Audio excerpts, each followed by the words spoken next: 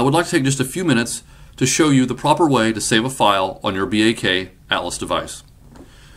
Before I show you how to actually save a file, I'm going to show you a couple of operations that you should have already completed.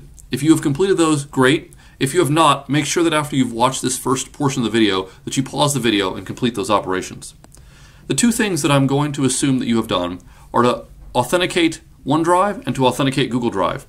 Notice I press the Start menu there, and if you have not authenticated your Google Drive, scroll down until you find Google Drive, and then tap Google Drive right there.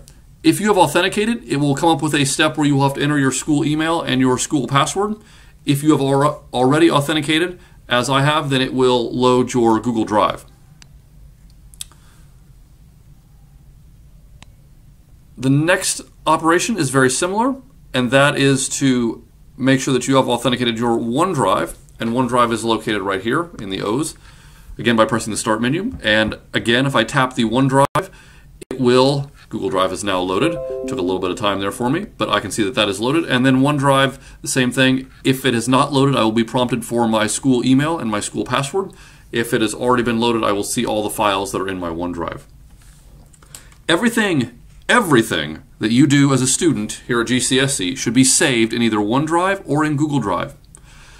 Things that are saved on your computer, such as in the desktop or in the documents area, are going to be lost if your device is broken. Anything that is saved on OneDrive or Google Drive will be backed up forever as long as you are a student here at GCSC. So that's why it's so important that you have those services activated and that you are using them. Now I'm going to hop over to Microsoft Word. What I'm going to show you on Word is relevant for any program that you will be using on your Atlas device. It can be done with PowerPoint or Google SketchUp or any of the number of programs that you will be using on your BAK Atlas device. You can see here that I have one document that says save this file to OneDrive, and I have another that says save this file to Google Drive. Right, there we go. There's one. So let's save to Google Drive. Now, neither one of these documents have currently been saved. So I am going to save this file to Google Drive. I'm going to go to File, Save As, and then notice Google Drive does not appear in the list of options, so I'm going to hit Browse. And on the left side over here, I am going to find my Google Drive, and it is right there.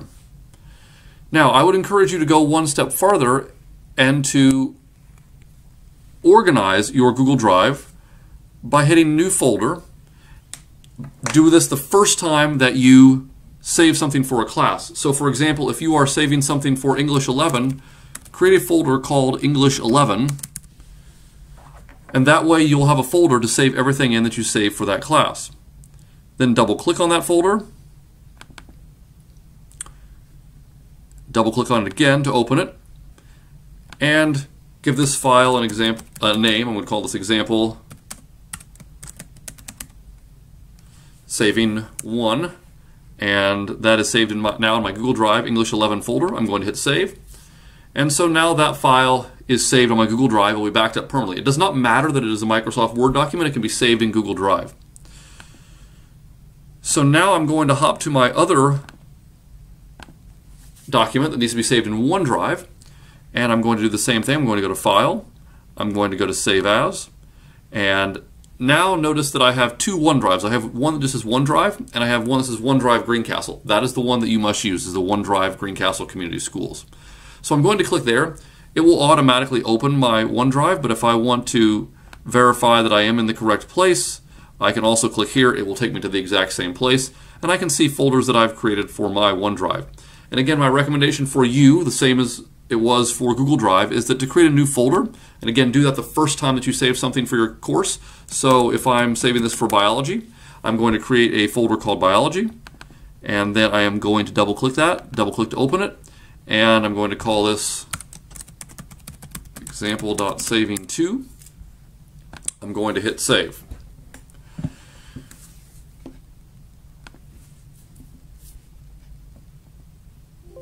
and t- took a minute, but there my file is now saved and the file name should change. There it does. So now I know both those files are saved in, one of them is saved in Google Drive, one of them is saved in OneDrive.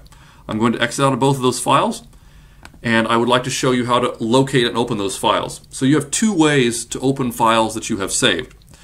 The first way is to open the program that you are using. So I can open Microsoft Word, and from there I can open the files that I just saved. Now, I will notice that they are over here in the recent folders, and that is great.